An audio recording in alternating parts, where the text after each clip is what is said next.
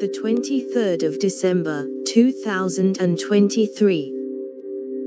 Wait, was Cyberpunk 2077 just quietly in early access for three years?